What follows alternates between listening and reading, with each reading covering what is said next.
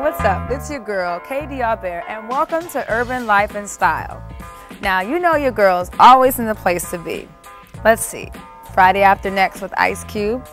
I wrestled with The Rock and the Scorpion King, and I got to fly high with Method Man and Soul Plane. But we're going on a different kind of trip today. Today we are going around the country to talk about basketball, um, sexy basketball players, hot music, and all that was good in 2006. So stay right there and we'll be right back.